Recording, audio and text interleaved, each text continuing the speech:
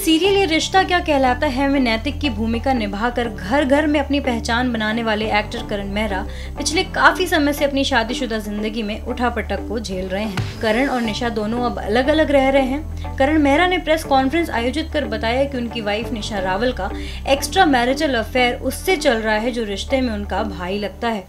The reason why I'm doing this is so that this truth comes out in front of you guys ताकि सबको पता हो कि मैं आज क्या बोल रहा हूँ।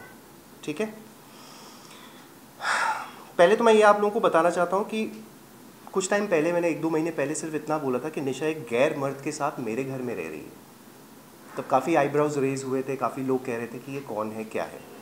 आज ये सबूत कोर्ट में पेश हो गए ये सबूत मेरे लॉयर्स ने कोर्ट में लगा दिए हैं। इसलिए मैं इसके बारे में बात करने जा रहा हूँ।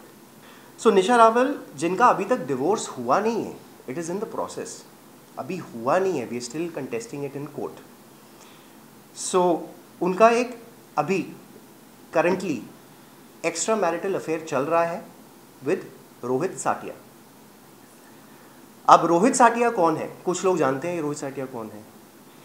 बेसिकली रोहित साटिया वो शख्स है जो निशा के मुँह बोले भाई हैं।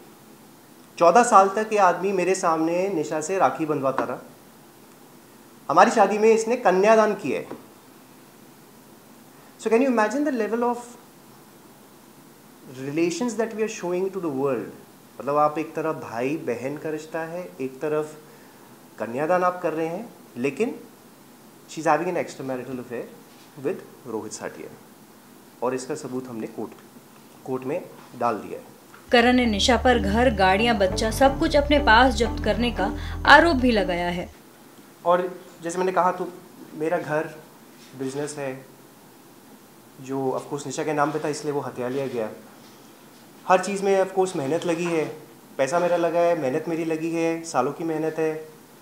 घर, गाड़ियाँ, बच्चा, सब कुछ अपने पास जब्त करके ये लोग बड़ी आसानी से बैठ गए बता दें, निशा रावल ने करण के खिलाफ पिछले साल घरेलू हिंसा को लेकर एफआईआर दर्ज कराई थी और पति पर एक्स्ट्रा मैरिजल अफेयर का आरोप भी लगाया। फ़िलहाल दोनों का केस कोर्ट में चल रहा है।